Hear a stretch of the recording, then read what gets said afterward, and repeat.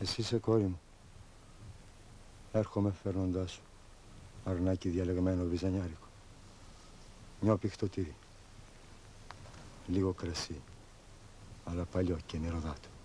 Ο Μάνος Κατράκης ερμηνεύει τον γέροντα. Χάρη σε αυτό το πρόσωπο, η Ηλέκτρα θα καταλάβει ότι ο ξένος που της παρουσιάστηκε ως φίλος του αδερφού της είναι τελικά ο ίδιος της ο αδερφός. Γιατί ξεκινάμε από τον Μάνο Κατράκη; Θα έλεγε κανείς ότι η παρουσία αυτού του ηθοποιού σκιάζει την παρουσία των υπολείπων. Γιατί; Για δύο λόγους. Το πρόσωπό του γράφει πολύ καλά στον φακό. Έχει δηλαδή φωτογένεια. Αλλά επίσης το πρόσωπο αυτό ταιριάζει άψογα με το τοπίο όπου έγιναν τα γυρίσματα στο νομό Αττικής, όπου η φύση είναι άγρια και ορεινή. Ο Μιχάλης Κακογιάννης εκμεταλλεύεται αυτό το πρόσωπο στο έπακρον. Τον κινηματογραφεί σε πολύ κοντινά πλάνα, δηλαδή σε γκρό πλάν, ή σε πλάνα που μας δείχνουν τον ηθοποιό σε προφίλ.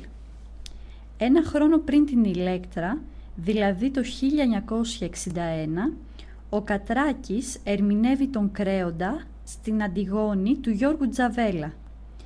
Η ενηγματική παρουσία του ηθοποιού μας διαφεύγει γιατί ο Τζαβέλας σπάνια πλησιάζει τους ηθοποιούς και ακόμα πιο σπάνια κάνει πολύ κοντινά πλάνα. Σκέφτηκα τότες μήπως ο γιος του πέρασε τα σύνορα κρυφά για να τιμήσει τα θηλιομνήμα του. Γέροντα, δεν μιλάς σοφά. Ο αδερφός μου είναι άφοβος. Κι άφοβα θα γυρίσει. Όχι στα κλεφτά. Χαρακτηριστικό της ερμηνείας του Κατράκη είναι η απαγγελία. Αυτός ο τρόπος ερμηνείας χαρακτηρίζει πολλούς ηθοποιούς της γενιάς του Κατράκη, αλλά και πολλούς άλλους οι οποίοι φύτευσαν στο Εθνικό Θέατρο. Στο Εθνικό Θέατρο δάσκαλος είναι ο Δημήτρης Ροντήρης. Ο Ροντήρης, μαθητής του γερμανού σκηνοθέτη Ρέινχαρτ, χάρη στον οποίο αναβιώνει η τραγωδία στην Ευρώπη, ερχόμενος στην Ελλάδα φέρνει μαζί του και κάποιους κανόνες που αφορούν στην ερμηνεία της τραγωδίας.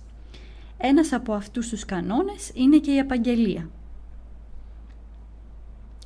Διαπιστώνουμε εδώ ότι η ερμηνεία του Κατράκη δεν είναι στατική, αλλά εξελίσσεται. Περνάει σε ένα πιο ανθρώπινο στάδιο, καθώς μιλάει με την Ηλέκτρα ή Ειρήνη Παπά και έπειτα με τον Ορέστη ή Γιάννη Φέρτη.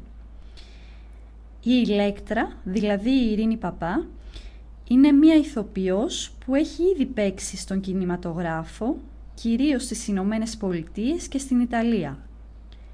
Αρχικά φοιτεί δίπλα στον Ροντήρη, αλλά θεωρεί ότι ο τρόπος ερμηνείας που της διδάσκει αυτός είναι πολύ συντηρητικός. Γι' αυτό και φεύγει στο εξωτερικό, όπου όπως αναφέρει ο Κακογιάννης, την χρησιμοποιούν ως μία πολύ όμορφη γυναίκα. Η εμπειρία της όμως αυτής στον κινηματογράφο παίζει σημαντικό ρόλο στην καριέρα της. Η παπά έχει συνείδηση ότι δεν παίζει στην σκηνή του θεάτρου, αλλά μπροστά σε μία κάμερα. Παίζει λοιπόν για την κάμερα και αυτό το αντιλαμβάνεται ο θεατής. Υπάρχει μία φυσικότητα στην ερμηνεία της. Ας υπενθυμίσουμε ότι στις Ηνωμένες Πολιτείες δεν υπάρχει θεατρική παράδοση όπως στην Ευρώπη. Στην Ευρώπη οι ηθοποιοί έκαναν τα πρώτα τους βήματα πάντα στο θέατρο, ενώ στις Ηνωμένες Πολιτείες δεν συνέβαινε το ίδιο. Οι ηθοποιοί του κινηματογράφου είχαν και έχουν την δική τους σχολή, το Actor Studio,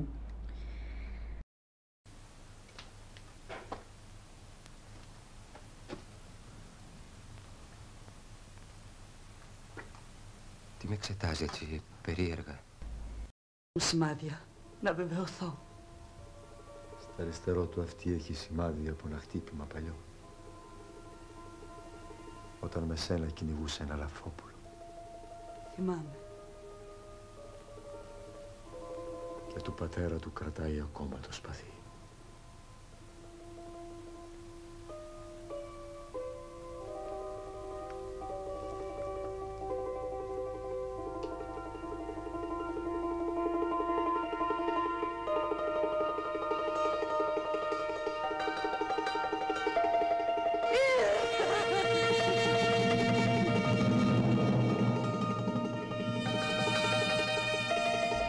Βλέπουμε εδώ τον Γιάννη Φέρτη, ο οποίος φοιτεί στην σχολή του Κάρολου Κούν.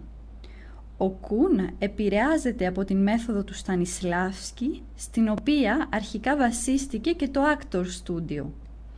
Η ερμηνεία του Φέρτη είναι περισσότερο ψυχολογική από αυτή των άλλων ηθοποιών. Ό,τι λέει το νιώθει. Κάνει πολλές παύσεις όταν προφέρει τα λόγια του και πάντα αυτά, δηλαδή τα λόγια του, έχουν σχέση με τις χειρονομίες που θα κάνει. Όλα είναι μετρημένα. Λέει για παράδειγμα κάποια στιγμή στην ηλέκτρα, αναφερόμενος στον γέροντα. Γιατί με εξετάζει έτσι, περίεργα. Κάνει μια παύση στη λέξη έτσι και τονίζει το δεύτερο επίρρημα, περίεργα.